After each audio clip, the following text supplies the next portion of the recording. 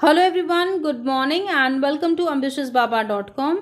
We are back with our daily current affairs. तो चलिए जानते हैं सिक्स और सेवन सितंबर के करंट अफेयर्स क्या हैं इसके अलावा अगर आपने हमारा weekly revision current affairs class miss किया है तो ऊपर आई बटन में आप उसे चेक कर सकते हैं 200 प्लस का पार्ट वन पढ़ाया था हमने संडे को तो चलिए बढ़ते हैं आज के क्वेश्चंस की तरफ़ पहला सवाल इनमें से किस राज्य सरकार ने हरियाली सुनिश्चित करने के लिए, पर्यावरण की रक्षा करने के लिए और हमारे नागरिकों को हरियाली रक्षक बनाने के लिए आई रखवाली नाम का ऐप लॉन्च किया है?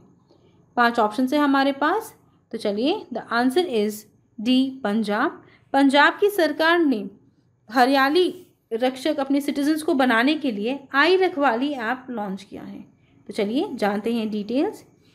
इससे पहले हम बात करेंगे कि ऐप क्यों लॉन्च किया गया है। जैसा कि हम जानते हैं कि भारत में काफ़ी रैपिडली डिफॉरेस्टेशन हो रहा है, जिससे जो हमारा ग्रीन कवर है, वो काफ़ी कम होते जा रहा है। तो इसके लिए अलग अलग स्टेट गवर्नमेंट्स अलग अलग मेजर्स ले रही है, जिसके तहत हमारे जो ग्रीन कवर है, उसको डिप्लीट होने से बचाया जा सके। तो पंजाब की सरकार ने लॉन्च किया है आई रखवाली ऐप। इसी से रिलेटेड कुछ दिन पहले उड़ीसा की सरकार ने एक स्कीम लॉन्च की थी, जिसका नाम था सबूजा उड़ीसा जिसके तहत वहाँ के जो चीफ मिनिस्टर है, उन्होंने ये कहा था कि वो 1.3 लाख हेक्टेयर्स की ज़मीन पर वृक्षारोपण करेंगे, जिसके तहत उड़ीसा का जो ग्रीन कवर है, वो मेंटेन किया जा सके। तो चलिए, अब बात करते हैं आई रखवाली ऐप के बारे में। तो पंजाब के स्टेट फॉरेस्ट डिपार्टमेंट ने तीन सितंबर को लॉन्च किया है आई रखवाली ऐप, जिसके तहत जो पंजाब के सिटीजन्स हैं, वो हरियाली रक्षक बनेंगे।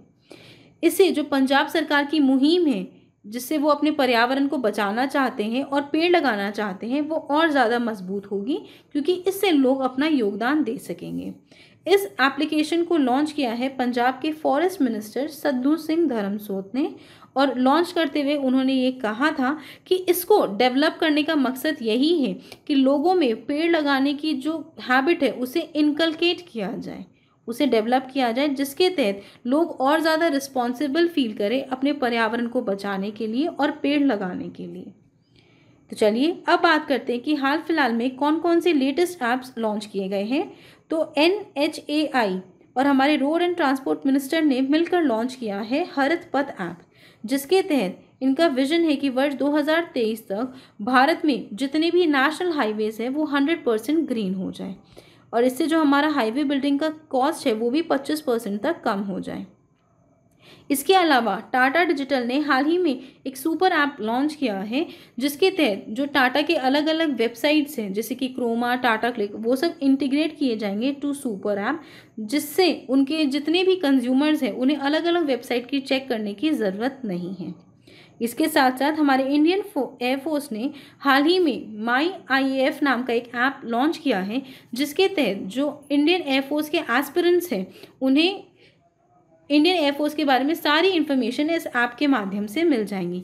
जैसे कि उनका पे पैकेजेस क्या है सैलरी स्ट्रक्चर क्या है क्या क्या ट्रेनिंग की रिक्वायरमेंट्स है, क्या एडुकेशनल क्वालिफिकेशंस की रिक्वायरमेंट है, ऐसी कई सारी इन्फॉर्मेशन उन्हें आईएएफ के ऐप पे मिल जाएँगी। और इसके अलावा हमारे रक्षा मंत्री ने लॉन्च किया है D G N C C app जो कि है फॉर नेशनल कैडेट कॉर्प्स जैसा कि उनकी ट्रेनिंग बंद है ड्यू टू कोविड नाइन्टीन इसके लिए ये ऐप लॉन्च किया गया है, जिससे उन्हें उनका स्टडी मटेरियल एडुकेशनल करिकुलम ये सब इस ऐप पे मिल जाएँगे। इसके साथ साथ इसकी सबसे यूनिक फीचर ये है कि वहाँ पर एक क्वेरी का ऑप्शन है। तो कोई भी एनसीसी का कैडेट अगर उन्हें कोई भी क्वेरी हो तो वो इस ऐप पे उसे पोस्ट कर सकते हैं। और बैक एंड में जो उनका एक्सपर्ट पैनल है, वो इसका जवाब देगा, जिससे जो कडेट्स हैं, उनकी प्रॉब्लम्स सॉल्व हो जाएगी। तो चलिए, बढ़ते हैं दूसरे क्वेश्चन की तरफ़। दूसरा सवाल, हमारे केंद्रीय शिक्षा मंत्री द्वारा किए गए अंग्रेज़ी और विदेशी भाषा विश्वविद्यालय हैदराबाद द्वारा विकासित मुफ़्त मोबाइल एप्लीकेशन का नाम बताइए। पाँच ऑप्शन है हमारे पास। तो चलिए the answer is B English Pro English Pro नाम का एक फ्री मोबाइल एप्लीकेशन डेवलप किया गया है English and Foreign Languages University Hyderabad द्वारा। तो चलिए जानते हैं डिटेल्स तो हमारे केंद्रीय मंत्री ऑफ़ एडुकेशन ने लॉन्च किया है एक फ्री मोबाइल ऐप जिसका नाम है इंग्लिश प्रो इस ऐप को डेवलप किया है English and Foreign Languages University Hyderabad में अंडर यूएसआर जो कि है यूनिवर्सिटी सोशल रिस्पॉन्सिबिलिटी ये first of its kind initiative है, जिसमें किसी विश्वविद्यालय ने एक ऐप लॉन्च किया है लोगों की भलाई के लिए। ये काफ़ी यूज़फुल डिजिटल टूल रहेगा और एक एजुकेशनल रिसोर्स के रूप में काम करेगा, चाहे टीचर्स के लिए हो स्टूडेंट्स के लिए हो, या उन बच्चों के लिए हो, जो अलग अलग बैकग्राउंड से आते हैं। जैसे कि हम जानते हैं कि इंग्लिश काफ़ी ज़्यादा इंपॉर्टेंट हो गया है आजकल के वर्ल्ड में और बहुत सारे ऐसे बच्चे हैं जिन्हें इंग्लिश सही ढंग से बोलना या प्रोनाउंस करना नहीं आता। तो उनके लिए काफ़ी ज़्यादा ऐप यूज़फुल रहेगा, इससे वो इंग्लिश सीख सकते हैं और इससे उनका पर्सनालिटी डेवलपमेंट भी होगा और वो जो कम्युनिकेशन गैप वो फेस करते हैं, वो भी कम हो जाएगा। तो ऐसा मानना है कि इस ऐप से बहुत सारे उन स्टूडेंट्स को फ़ायदा होगा जो बहुत फ्रीक्वेंटली जिनके पास इंग्लिश बोलने या पढ़ने का एक्सेस नहीं है। तो चलिए, बढ़ते हैं आगे तीसरे क्वेश्चन की तरफ़। तीसरा सवाल, इनमें से किस देश के पास अब दुनिया का दूसरा सबसे बड़ा सड़क नेटवर्क है? पाँच ऑप्शन है हमारे पास। तो चलिए the answer is C India अब भारत के पास दुनिया का दूसरा सबसे बड़ा सड़क नेटवर्क है। तो चलिए, जानते हैं डिटेल्स तो हाल ही में sixtieth annual convention of S जो कि हो रहा था वीडियो कॉन्फ्रेंसिंग के माध्यम से 4 सितंबर को, उसमें हमारे रोड ट्रांसपोर्ट और हाईवेज मिनिस्टर नितिन गडकरी ने कहा था कि दुनिया, अब इंडिया में अब दूसरा सबसे बड़ा रोड नेटवर्क है। और ये जो हाल ही के ईयर्स में ट्रिमेंडस ग्रोथ हुआ है in construction of expressway and highways ये उसी का नतीजा है। जो हमारी रोड बिल्डिंग की कैपेसिटी है, वो एवरेज है थर्टी किलोमीटर अ डे और उसमें हाईएस्ट गई है up to forty kilometre per day for highways ऐसा मानना है कि कुछ वर्षों का आप डेटा उठा के देखें तो सिक्सटी परसेंट ऑफ़ ये जो कंस्ट्रक्शन हुआ है, वो हुआ है in the state of Maharashtra. चलिए, बढ़ते हैं तीस, चौथे क्वेश्चन की तरफ़। चौथा सवाल, इनमें से किसने भारत से पाँचवें ब्रिक्स संस्कृति मंत्रियों की बैठक में भाग लिया है? पाँच ऑप्शन है हमारे पास। तो चलिए the answer is E Prahlad Singh Patel. Prahlad Singh Patel ने फिफ्थ ब्रिक्स कल्चर्स मिनिस्टर की मीट में हिस्सा लिया है। तो चलिए, जानते हैं डिटेल्स तो जैसा कि हमने क्वेश्चन में ही पढ़ा है कि हमारे केंद्रीय मंत्री of state for culture and tourism Shri Prahlad Singh Patel ने पांचवी ब्रिक्स कल्चर्स मिनिस्टर्स की मीट को अटेंड किया है और इसमें अध्यक्षता रही है रशियन फेडरेशन की। इसमें ब्रिक्स, जो कि पाँच देशों का मिलन है, जो कि है Brazil, Russia, India, China and South Africa, इन सभी ने हिस्सा लिया है। इसमें कई सारी मुद्दों पर चर्चा हुई थी और मेनली कि कैसे हम डिजिटल ऑनलाइन एग्जीबिशन को होल्ड कर सकते हैं, उसके लिए क्या क्या ऑप्शंस हम एक्सरसाइज और एक्सप्लोर कर सकते हैं, इस पर बातचीत हुई थी। और ये भी बात हुई थी कि कैसे हम फुल कोऑपरेट कर सकते हैं और अपना कंटेंट शेयर वेबसाइट कर सकते हैं अंडर दी ब्रिक्स अलायंस चलिए, बढ़ते हैं पाँचवें क्वेश्चन की तरफ़। पांचवा सवाल आरबीआई द्वारा जारी प्रायोरिटी सेक्टर लैंडिंग्स की जो गाइडलाइंस है, उनके हिसाब से इनमें से कौन से श्रेणियों को प्राथमिकता के क्षेत्र में वित्त के लिए योग्य ताज़ा ऋण के रूप में शामिल किया गया है? पाँच ऑप्शन है हमारे पास। तो चलिए the answer is D all of the above RBI की जो रिवाइज प्रायोरिटी सेक्टर लेंडिंग की जो गाइडलाइंस है, उनके हिसाब से इस बार तीन कैटेगरीज को इंक्लूड किया गया है एज फ्रेश कैटेगरी जिनको फाइनेंस प्रोवाइड किया जाएगा अंडर द प्रायोरिटी सेक्टर तो चलिए जानते हैं डिटेल्स तो रिज़र्व बैंक ऑफ़ इंडिया ने 4 सितंबर को अपनी रिवाइज्ड प्रायोरिटी सेक्टर लेंडिंग की जो गाइडलाइंस है, उसे रिलीज़ किया था और उसमें उन्होंने इंक्लूड किया था ऑन्टरप्रनोरशिप और रिन्यूएबल रिसोर्सेज को as the emerging national priorities चलिए बात कर लेते हैं प्रायोरिटी सेक्टर लेंडिंग्स क्या है।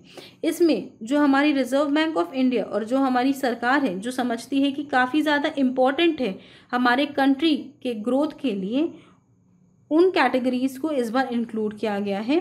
तो इसमें बैंक्स जो है, वो फिनेंस कर सकती है स्टार्टअप्स को पचास करोड़ रुपए तक का और इसके साथ साथ जो हमारे किसान हैं, जो सोलर पावर प्लांट्स को इंस्टॉल करना चाहते हैं, जिसके तहत एग्रीकल्चरल पम्प्स को कनेक्ट किया जा सके फॉर सोलराइजेशन उन्हें भी उन्हें भी फाइनेंस किया जाएगा।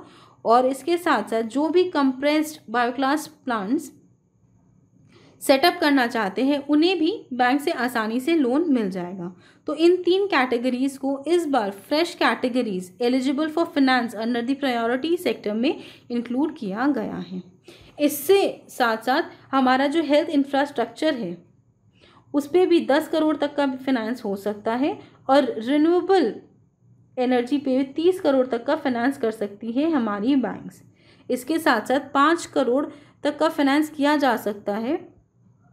उन लोगों के लिए जो स्कूल्स सेटअप करना चाहते हैं या फिर ड्रिंकिंग वाटर की फैसिलिटीज़ प्रोवाइड करना चाहते हैं, या फिर सैनिटेशन की फैसिलिटी प्रोवाइड करना चाहते हैं। जैसा कि हम जानते हैं कि ये तीन चीज़ काफ़ी इंपॉर्टेंट है COVID post COVID nineteen world में। तो इसीलिए हमारी रिज़र्व बैंक ऑफ़ इंडिया इनके लिए लोन प्रोवाइड करना चाहती है, ताकि जैसे हमारे स्कूल्स है, साफ़ ड्रिंकिंग वाटर हो और सैनिटेशन ये और ज़्यादा डेवलप किया जा सके भारत में, ताकि जो भारत का फ्यूचर है वो और ज़्यादा ब्राइट हो।